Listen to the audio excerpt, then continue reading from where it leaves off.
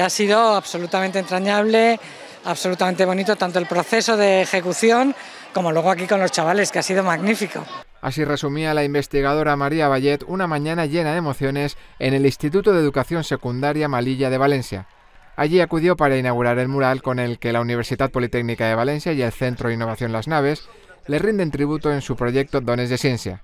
Bayet compartió durante toda la mañana su pasión por la ciencia y por divulgarla con todo el alumnado y profesorado del centro. Yo creo que es muy importante y además hoy lo hemos podido ver porque tú has visto cuando ha terminado el acto los chavales todos se han acercado, tanto niños como niñas, ¿eh?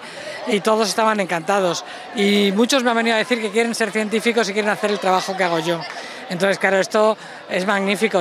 Se lo he dicho a los chicos y es verdad, o sea, yo nunca me he aburrido trabajando y siempre he hecho cosas que, que bueno, eh, los he hecho pensando en que sean buenas para la sociedad, pero a mí me han llenado mi vida. El mural de Lies Malilla es obra de la artista valenciana Roseta. En él destaca la figura de María Vallet acompañada de diferentes referencias a su investigación en regeneración ósea y a su labor divulgadora, representada con unas pequeñas figuras infantiles ideadas por el artista Jaju. Son els ninotes que estan pujant per un os i reparant en ese fil daurat Para Roseta pintar este mural ha sido también especialmente emotivo. Pintar a esta científica, vinculada a, a la cerámica, eh, de la seva manera, no?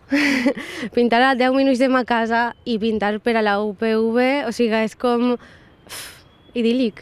Con este son ya 32 los murales que forman parte del proyecto Dones de Ciencia de la Universidad Politécnica de Valencia y el Centro de Innovación Las Naves del Ayuntamiento de Valencia un proyecto que cuenta con la colaboración de la Fundación Española para la Ciencia y la Tecnología del Ministerio de Ciencia e Innovación.